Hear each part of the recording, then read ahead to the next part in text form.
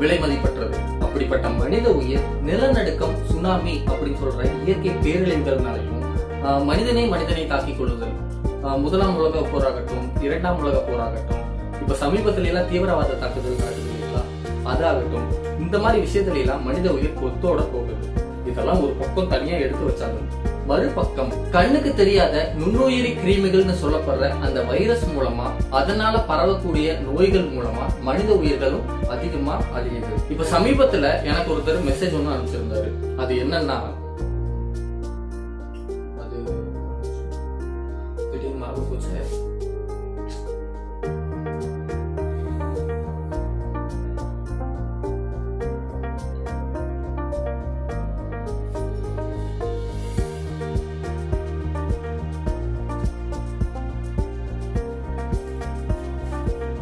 ஆ பேண்டமிக்னா என்ன? எபிடமிக்னா என்ன? அப்படின்னு சொல்லி ஒருத்தர் கேட்டிருந்தாரு.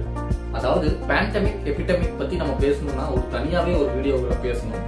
வேணா அடுத்த வீடியோவில் இதை பத்தி நம்ம பேசலாம். இப்போ இதை பத்தி சுருக்கமாக பார்த்துடலாம். அதாவது எபிடமிக்னா என்ன அப்படின்னா ஒரு நோய் ஒரு நாட்டுல இருக்கு. அந்த நோய் வேற எந்த நாட்டுக்கும் பரவல. அந்த நாட்டுல மட்டும்தான் ஸ்ப்ரெட் ஆகிருக்கு அப்படின்னா அது வந்து எபிடமிக் அதே பேண்டமிக் அப்படின்னா ஒரு நோய் அந்த நாட்டுல மட்டும் இல்லாம உலகம் பூரா பரவுச்சுன்னா அதுக்கு பேரு பேண்டமிக் இப்ப கூட சமீபத்துல சீனால யுஹான் அப்படிங்கிற நகரத்துல இந்த கொரோனா வைரஸை கண்டுபிடிச்சாங்க.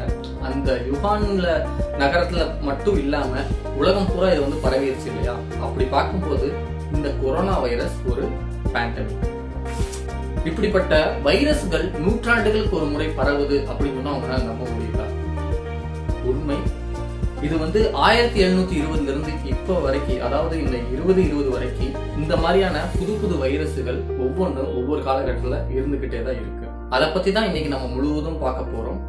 வணக்கம். நம்ம வீட்டு நூலகம் உங்களை அன்புடன் வரவேற்கிறது.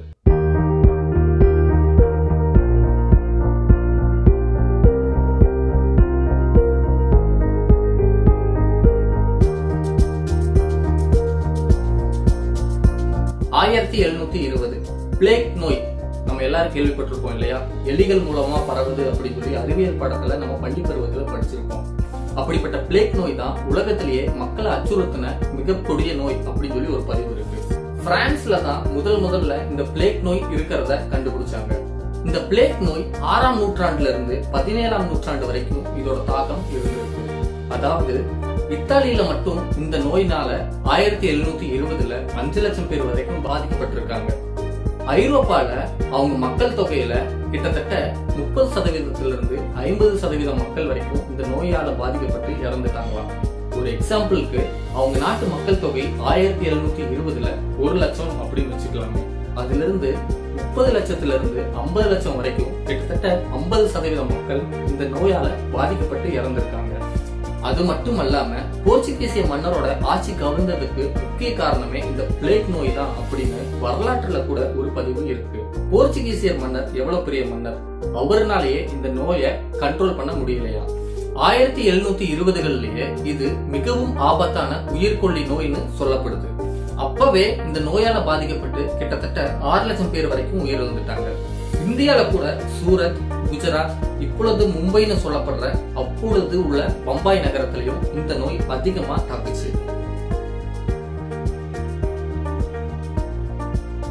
ஆயிரத்தி எட்நூத்தி இருபது.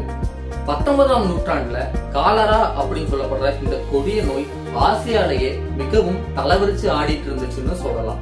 இதுல பிரிட்டிஷ் ராணுவத்துல பத்தாயிரம் ராணுவ வீரர்கள் உட்பட உலகம் முழுவதும் கிட்டத்தட்ட ஒன்றரை கோடி பேர் இந்த நோயால பாதிக்கப்பட்டு இறந்துட்டாங்களாம்.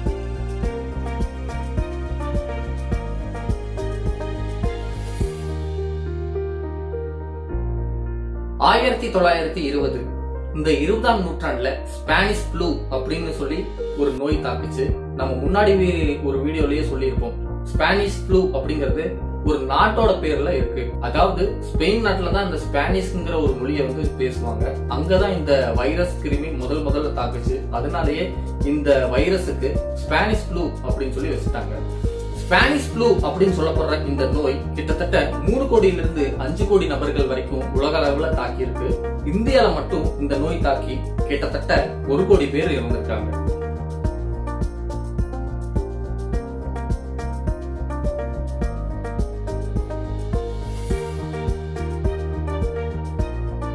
இரண்டாயிரத்தி இருபது. இப்ப நம்ம இருபத்தி ஓராம் நூற்றாண்டுல இருக்கோம். சீனா நகர்ல யுஹான் அப்படின்னு சொல்லப்படுற ஒரு நகரத்துல ஆரம்பிச்ச இந்த கொரோனா வைரஸ் இப்போ உலகம் பூரா ஸ்ப்ரெட் ஆகி இது ஒரு பேண்டமிக்கா அறிவிச்சிருக்காங்க. இன்னைக்கு தேதி வந்து முப்பதாம் தேதி. இன்னைக்கு தேதியில இந்த நோயால பாதிக்கப்பட்டவங்க மட்டும் எவ்வளோ அப்படின்னா ஏழு லட்சத்தி நாலாயிரத்தி நானூத்தி ஒரு பேர். இதுல இறந்தவங்க மட்டும் முப்பத்தி மூணாயிரத்தி இருநூத்தி இருபத்தி ஆறு பேர். இன்னைக்கு தேதியில. அரசாங்கம் பல நடவடிக்கை எடுத்துட்டு இருக்கு. மத்திய அரசும் சரி மாநில அரசும் சரி நம்மளை எல்லாம் வீட்டுல இருக்க சொல்லியிருக்காங்க. இப்பவும் நிறைய பேர் வெளியே சுத்திட்டு இருக்காங்க.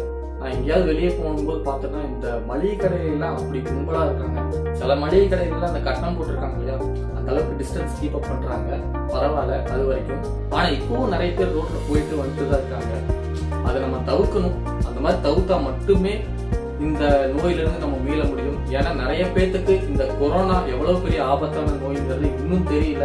மக்கள் இன்னும் கொஞ்சம் விழிப்புணர்வோடு இருந்து செயல்பட்டு நம்ம மத்திய அரசுக்கும் தமிழக அரசுக்கும் ஒத்துழைச்சு நம்ம வீட்டுல இருந்தா மட்டுமே இதை சரி செய்ய முடியும். சீனால மருந்து கண்டுபிடிச்சிருக்காங்கன்னு சொல்றாங்க. பார்க்கலாம். இப்பொழுதைக்கு நம்மளோட கடமை என்னன்னா நம்ம வீட்டுல பத்திரமா இருக்கிறது தான். அடுத்த காணொலியில இன்னும் சிறப்பான தகவலை